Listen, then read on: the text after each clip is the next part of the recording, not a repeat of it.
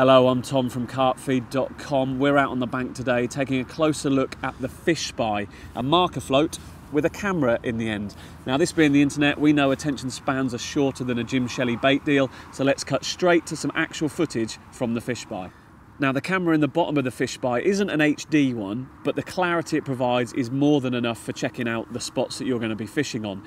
In the margins, in sunny days, the image clarity is really quite exceptional. It's perhaps something that when you've seen one of these in the shops, you're maybe a bit cynical about. You think, well, how can that work in the depths of the lake that I'm fishing? Well, I'm fishing a lake right now that's well over 10 foot deep.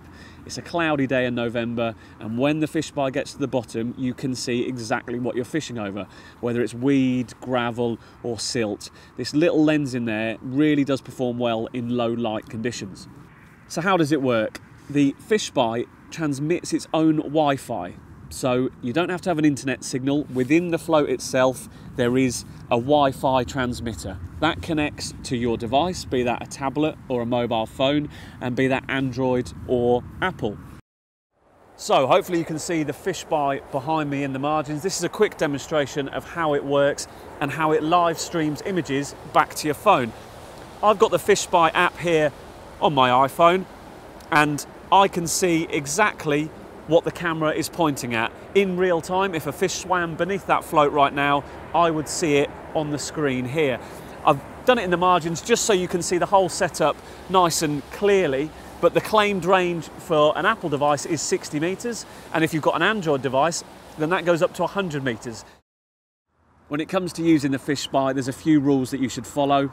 First of all is always use a shock leader. 50 pound braid is ideal. This, after all, could be the most expensive float you're ever gonna lose, so you don't wanna snap off.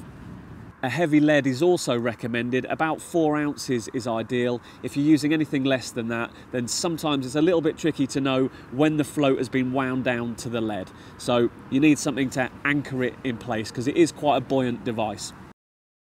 So there it is, that's the Fishspy. It's 129.99. It's another bit of tech for the modern carp angler. If you've got a bait boat or a fish finder, then this is another tool for your armoury. The purist might run scared, but if you're inquisitive about what goes on beneath the surface, if you want to know exactly what you're fishing over, then the Fishspy is a very handy tool.